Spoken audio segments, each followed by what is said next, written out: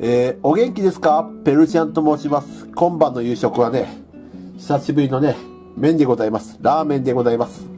でね、えっ、と、またね、あの、ウェーパーのスープにね、ね、今度はね、これ、角切りにした鶏もも肉とね、これ、みじん切りにしたね、えっ、と、長ネギをね、加えてね、えーラーメンを作りました。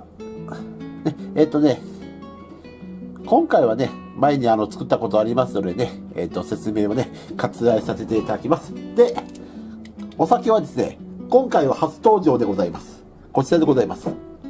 これ、なんだかわかります？これ、えっ、と、日本酒でございます。日本酒で、ね、このね、とっくりでね、えっ、と、飲んでいきたいと思います。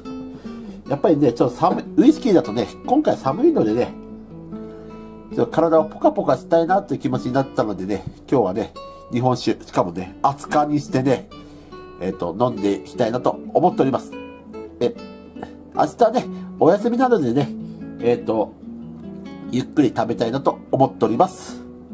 以上でございます。えー皆様ね、お仕事お疲れ様でした。先ほど私言いましたが、私明日は仕事お休みです。ですが、えーお仕事をなさってる方もいらっしゃいますのでね、体調管理やね、今の病原菌にお気をつけて、お仕事頑張ってください。以上でございます。えー大変短い動画ですが、ご視聴ありがとうございました。あ、あとですね、えっ、と、明日ね、ライブにつきましてはね、ちょっとね、えーやろうかどうか今ちょっとね、今考えてるところでございますのでね、もしね、決まり次第で、またね、えっ、と、ツイッターの方でね、えーやりたいなと思っております。以上でございます。それでは失礼します。ペルシアンでした。